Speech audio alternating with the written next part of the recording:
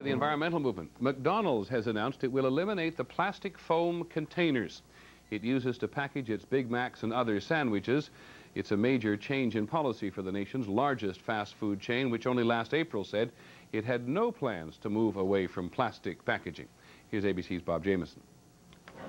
For two years, as a growing number of communities banned polystyrene packaging, McDonald's vigorously defended using the plastic foam containers.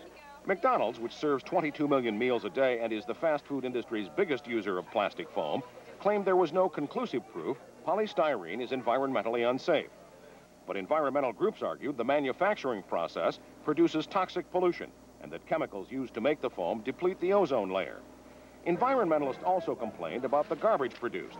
Eating a meal takes only minutes, but the foam containers take decades to break down in a landfill. Three months ago, the Environmental Defense Fund began working with McDonald's to change its mind about plastic foam and hailed today's announcement as a watershed. It could be the beginning of uh, corporate America seeing that the future is green and realizing that environmental groups can help show them the way. Initially, the company will replace only its sandwich containers, accounting for 75% of its foam packaging. McDonald's officials said their customers were also expressing concern about the containers. So we did it for the good earth, and we did it for our customers, and we did it for ourselves. Would you have done this if the Environmental Defense Fund had not pushed you in this direction? Uh, we may have, uh, but certainly we did it quicker. McDonald's hopes to replace the foam containers with paper in about six weeks.